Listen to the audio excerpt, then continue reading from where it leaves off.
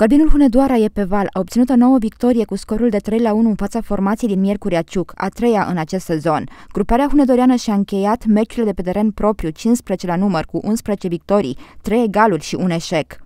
Cel mai recent succes a fost și unul de moral, având în vedere că a reprezentat penultimul test înaintea finalei Cupei României cu oțelul Galați. Nicolae Pârvulescu a deschis scorul pentru Corvinul în minutul 12. Hunedorenii au dublat avantajul în minutul 80 prin reușita lui Dorin Pop. Ciucanii au redus din diferență în minutul 86, autor fiind Ervin Bloj, iar tabela a fost închisă la scorul de 3 la 1 de Viorel Lic minutele de prelungire. A început bine, bine jocul, mi-era puțin teamă pe terenul ăsta umed.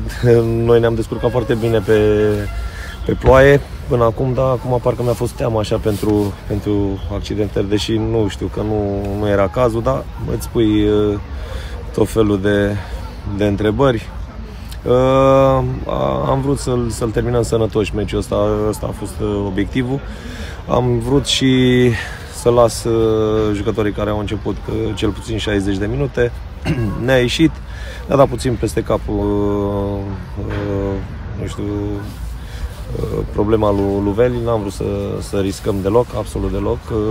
El s-a simțit bine și ieri și astăzi, dar nu, efectiv, pentru acest meci nu am vrut să riscăm. În rest, jocul mi-a plăcut, a fost un adversar care a jucat la limită. Pentru noi cumva e bine pentru că ne va aștepta un meci la Mioveni și după care acel meci de cupă cu Oțelul. Se știe că e o echipă foarte agresivă. Ne-a prins bine acest adversar. Uh, un joc bun. Uh, cam atât despre, despre jocurile. Știu că nu